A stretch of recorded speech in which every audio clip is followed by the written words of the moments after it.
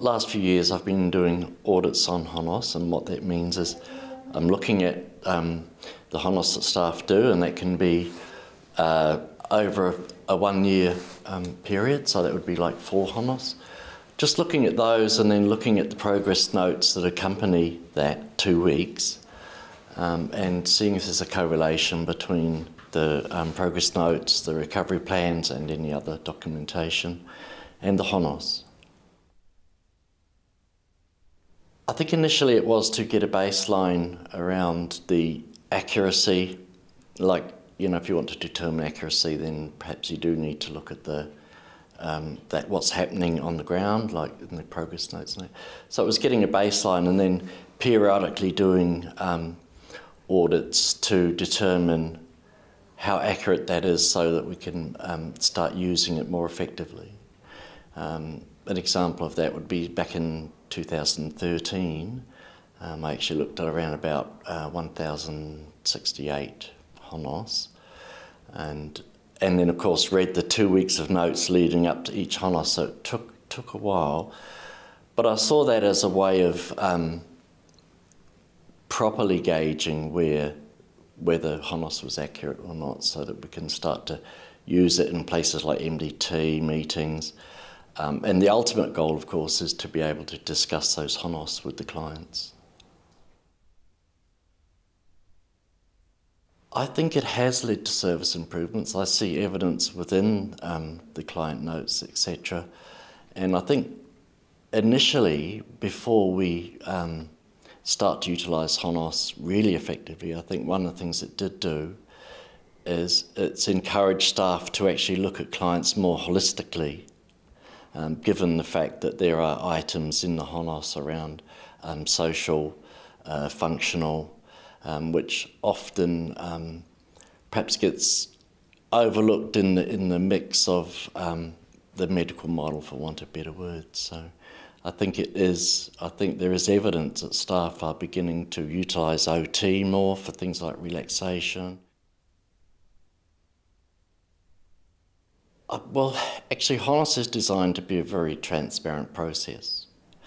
Um, it is a clinical, um, it's a clinician's view of the person, um, but if you if you're doing it in in partnership with the client, then you need to discuss that with the person and explain why you've given them a certain rating that you have, and that it also provides insight for the client. They can see where the high and low spots are. Um, so I think it, it's a really good tool for helping to, to in recovery planning. It's a it has discussion points. It has um, highs and lows, places where you may want to work on, and and just generally help with the um, recovery planning. The next phase of training would be around using the HONOS that you have in places like the, the multidisciplinary meetings, um, discharge, um, anything really, but particularly around um, planning recovery and planning ongoing work. So we've done the uh, how to do HONOS, and we're now why do we do HONOS and how do we use it?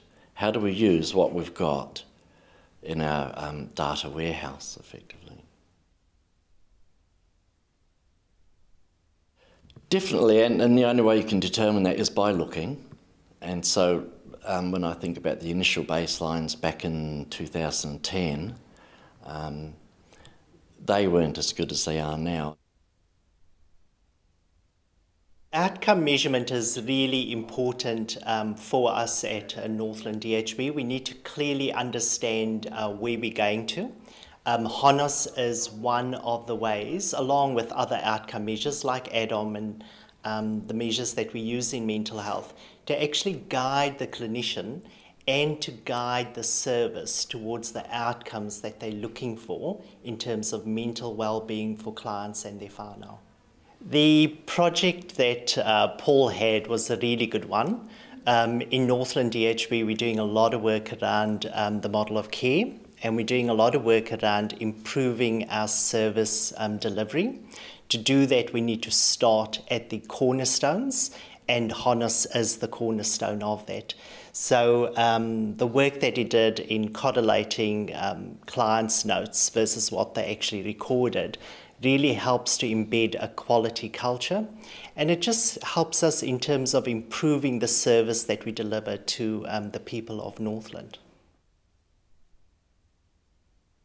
Just really to thank uh, Paul and the team um, and our workforce for actually doing a whole lot of this work. It took a lot of time, a lot of um, energy. My message, I guess, is we can collect data, and we do. But if you want to determine the accuracy of the data, then one way to do that is to actually look at what's happening on the ground and see if there's a correlation between the two.